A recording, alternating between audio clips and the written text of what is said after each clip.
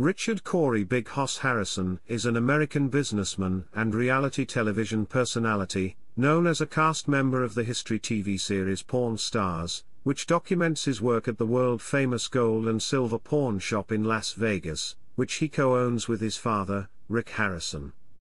Chapter 1, Early Life Richard Corey Harrison, born on April 27, 1983, is the son of Rick Harrison, and the grandson of Richard Benjamin Harrison, who co-own the world-famous gold and silver pawn shop in Las Vegas.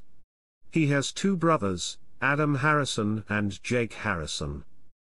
Chapter 2, Career Harrison, who is known by the nickname Big Hoss, began working at the shop at the age of nine.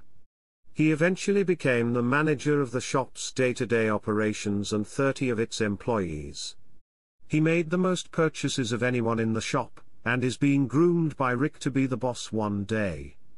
Plots of Pawn Stars often feature Harrison coming into conflict with his father and grandfather over his knowledge of the shop's inventory, his responsibilities as a manager, and his overall judgment in sales, in particular his purchase of expensive items.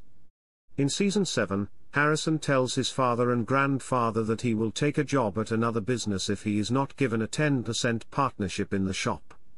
He remains with the shop after he is given a raise and a 5% partnership, with the possibility of a greater stake in the business in the future.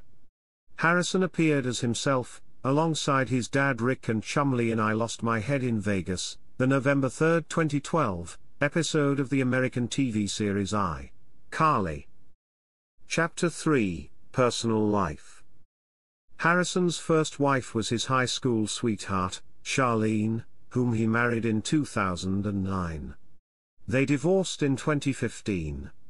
On May 26, 2017, Harrison married his second wife, Karina Kiki Harrison. Their divorce was finalized in September 2018. Harrison cited as the reason for the divorce their competitive work schedules, though the end of their marriage was an amicable one. In October 2018, their son, Richard Benjamin Harrison, was born.